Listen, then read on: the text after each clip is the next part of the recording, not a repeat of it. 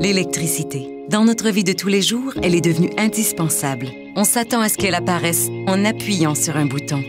Pourtant, ce simple geste est bien loin de refléter la complexité de l'exploitation et de l'entretien de notre réseau électrique. Et bien qu'essentiel, l'expertise seule ne suffit pas si nous voulons léguer des sources d'électricité propres, diversifiées et fiables aux prochaines générations. Nous investissons aujourd'hui dans l'énergie de demain. Rendez-vous sur l'électricité de l'avenir.ca.